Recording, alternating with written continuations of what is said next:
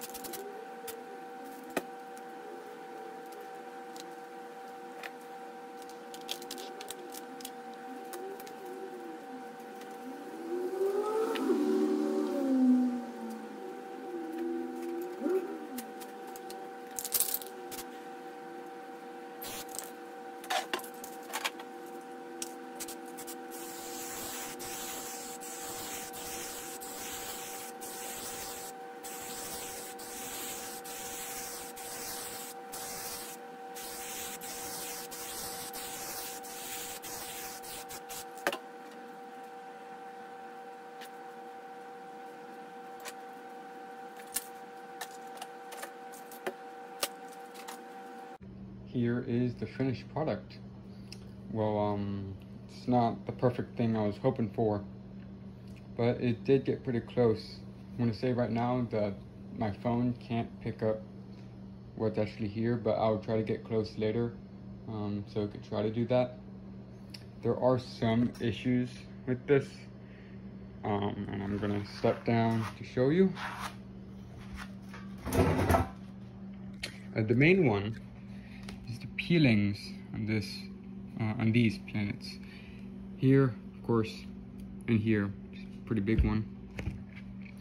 Um, this came off pretty well, better than I expected.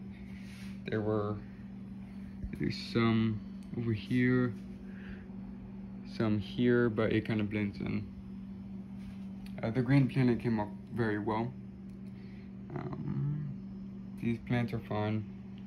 I was actually very surprised that the glass didn't mess anything up. It usually does. Um, so, yeah, the, the galaxy is a bit, over here it's a bit um, more defined, but as you go along, especially in the middle, you can't really see it as much. Um, not for me anyway, as much as I'd like. So, that's a bit unfortunate. So, um, anything else? Yeah, not, not anything pretty bad. Some like very small, uh, very big stars. I didn't mean to put down but just nitpicks. Planets are alright. Not good, not bad. Some of them good, some of them bad. Or not bad, but not as good. Like this planet, um, I wanted a bit more yellow out of it. Um, more vibrance. But of course, yellow being yellow, it dulls way too quickly. I could not have that. Um, yeah, that's pretty much it. I'm gonna zoom in now.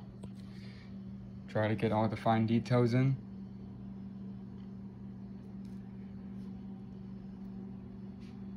Sorry if any of the aspect ratios come off a bit, a uh, bit wonky. They usually do have something wrong with them. I tried to um, zoom out a bit so I can edit further to not let it happen later on. Hopefully that does a good job. But who knows. Yeah, that's pretty much it. Not the best thing I was looking for. Um, but it's all right. It's okay. I'm try I'm gonna try to go up. Actually, I'm gonna go back on the chair. Give me a moment. So y'all can have bird, bird's eye view while I have the outro. I hope you have enjoyed the process and product of this painting, or painting session, as much as I have. Um, the next painting, I plan to have um, the same uh, individual paintings, all, all three of them, but they're going to be aligned a bit differently. This will stay the same, but these will go in the middle. So this a tiny bit up, this a tiny bit down. So I have straight line of, um, well, just equal um, about. They're not going to be shifted over downwards, upwards, what have you. Um, it will just be middle, but the sides will just be smaller. Um, I hope that I explained that enough. If not, you'll find out when I eventually post it two days later, or one day, three days. It, it's about two days. That's when I'm gonna try to make it. Um, yeah, yeah, that, that's it. Hope you I see you on that next painting painting session. And of course until that time hopefully I've, I will see you then. Bye bye